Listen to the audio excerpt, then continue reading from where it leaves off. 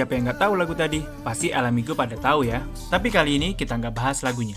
Selamat datang di segmen bedah mode rambut. Nah, pada segmen kali ini kita akan membedah rambut Afgan. Selain suara dan lagunya yang bagus, Afgan juga sering tampil dengan gaya rambut yang ikonik, seperti potongan comb over dengan bagian sampingnya yang tidak terlalu tipis. Untuk El Amigo yang memiliki model wajah seperti Afgan bisa memakai gaya potongan rambut ini ya. Selain itu, dari sumber yang Mimin baca, Afgan sangat teliti dengan produk groomingnya yang dipakai supaya memberikan hasil terbaik saat tampil di panggung. Apalagi Afgan sampai mengeluarkan produk pomade-nya sendiri yaitu Velo. Produk ini bisa digunakan pada saat kondisi formal, semi-formal, bahkan kasual, dengan hasil klimis yang nggak lebay.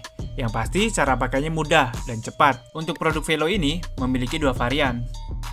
Afgan saja sampai seperti ini merawat penampilan rambutnya untuk hasil yang terbaik. Masa Alamigo enggak?